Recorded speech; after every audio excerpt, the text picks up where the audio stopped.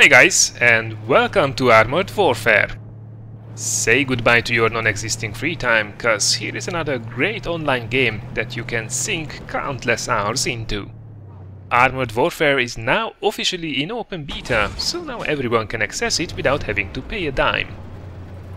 This video is a quick overview of the game right now, pros and cons included, with some basic tips if you want to go and check it out for yourself. Maybe I see some of you in-game this very weekend. First of all, be prepared for some heavy-duty downloading and installation times. The HD version of this game is about 19 to 20 gigs of downloadable content. Once it's up and running though, it will be a smooth experience most of the time, and I have to say, it runs very well being in beta. I'm able to run this baby on full ultra settings and it mostly does look pretty damn good, perhaps with the only exception of the effects when you are driving through water. One thing to keep in mind though is that it currently does not feature any replay system, so you will have to record everything in-game if you want to capture some footage.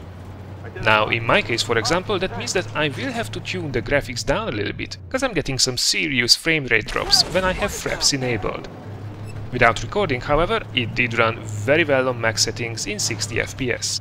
Keep in mind though that I have a pretty brutal rig.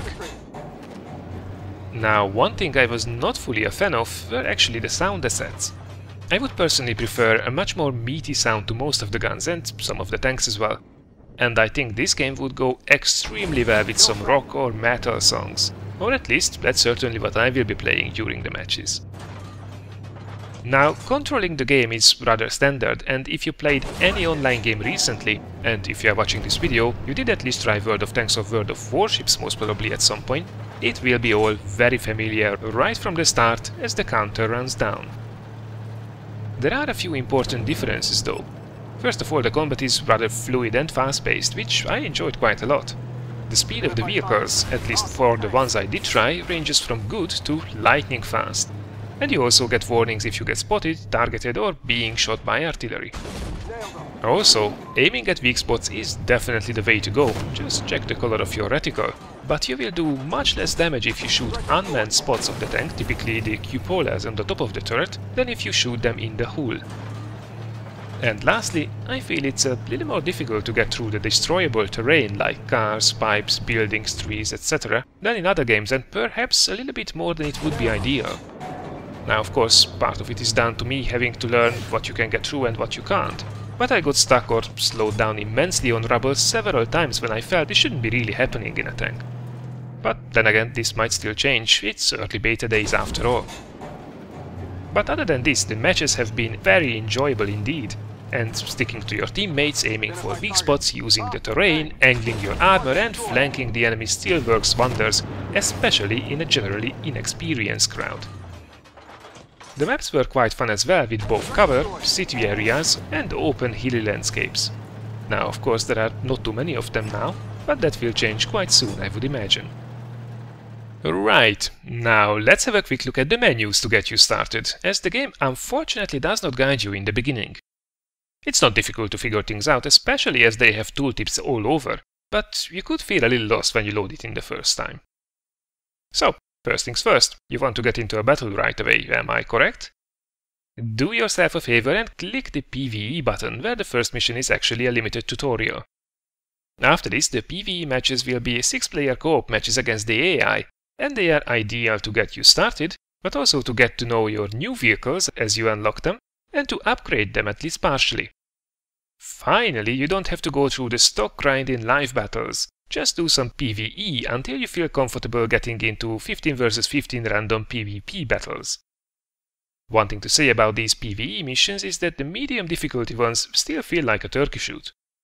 I really wouldn't mind the difficulty being raised a little bit for them, as right now actually the medium difficulty is in reality easy, and easy difficulty you can do blindfolded.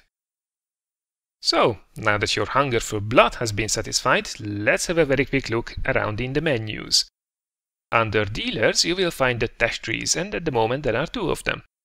Playing your core vehicles at tier 1 and 2 will allow you to unlock the other types. Now you don't just have to gather experience and upgrade your vehicle, more on that in a second, But each of the next tiers have certain requirements as well, like playing a certain number of battles, causing or blocking certain amounts of damage with vehicles in the same tech tree, and so on.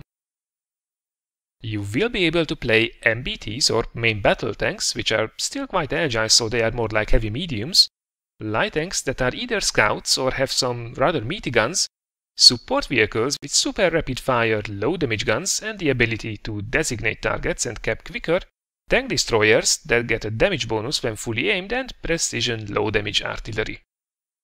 Once you acquire them, you can pimp them out in your garage using your XP and credits.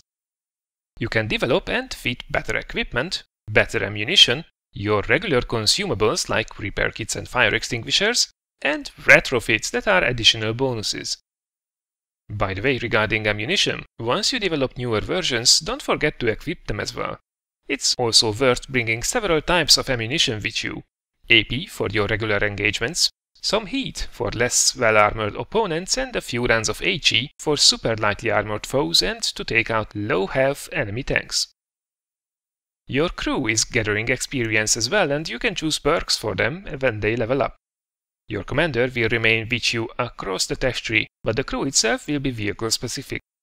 You can actually accelerate their learning as well with a function that I guess will be overlooked by some. Under the Base tab, you will find your own little army base that you can grow and level up. Each building will give you slight bonuses, like extra XP or credits, or maybe reduced repair costs, for example. Each day you get 100 materials that you can use to build or upgrade stuff. So, first impression. Good start, and a rather nice game indeed. Give it a shot if you are looking for something new, it's free after all. I will definitely include it in my usual video rotation, so let me know what you would like to see in the next one. Perhaps a guide on some specific aspect of the game or maybe a tank review? It's your choice. So, this was a short first impression on Armored Warfare Open Beta. I hope you found it useful. If you did, thank you for giving it a like or sharing it. The next video will be the Isokaze Destroyer review in World of Warships as promised, but right now, if you will excuse me, I urgently have to blow up some more tanks. Enjoy your weekend, guys, and see you around.